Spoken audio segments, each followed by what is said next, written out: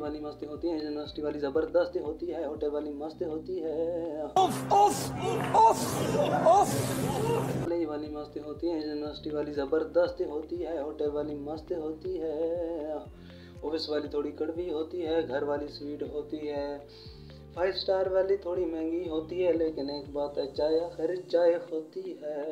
आप सोच को किस तो को किस सलामी बाबा जी